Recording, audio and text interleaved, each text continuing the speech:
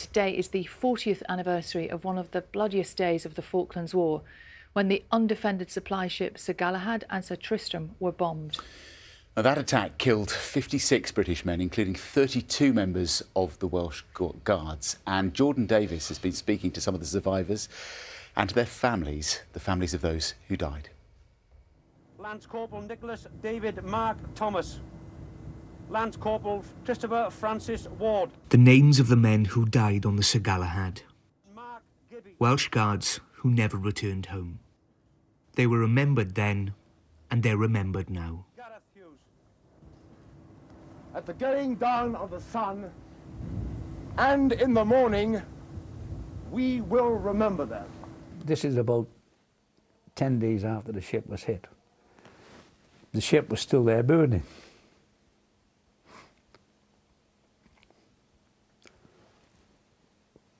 And the boss said to me, would you read the names out? So, um, yeah, it was a difficult time. Not a single day in the last 40 years have gone by but I have not thought about it. Not one day but I don't think of those boys. I knew every one of them.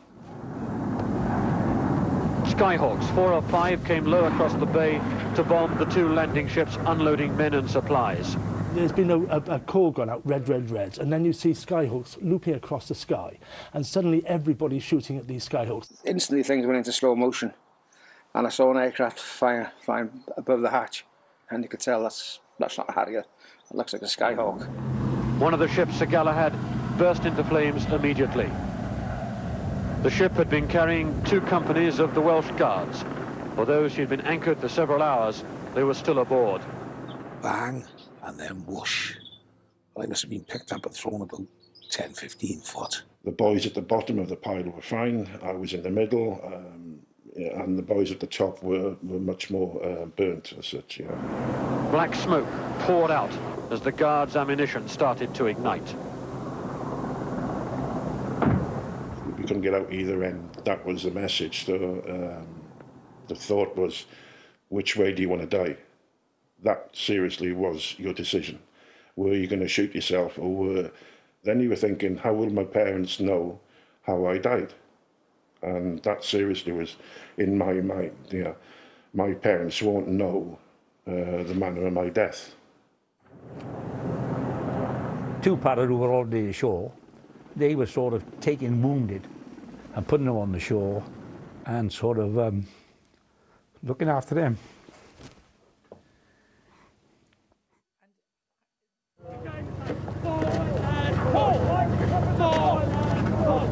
It was a dark day for the Welsh Guards.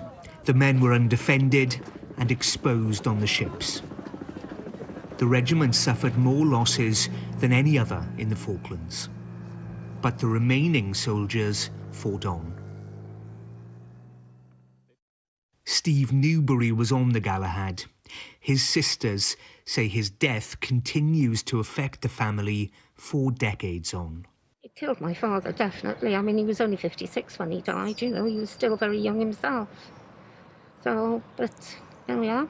And he had sent a letter to Stephen, didn't he, Yeah, to tell him how we back. how, how we felt, uh, you know, and, and he loved him and that, and it got sent back. And that was my father finished then. 'Cause he never got to see the letter.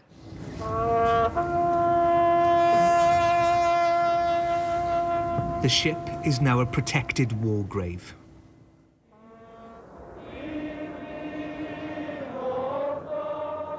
None of the bodies of the men who died have ever been brought home. Jordan Davies, BBC News.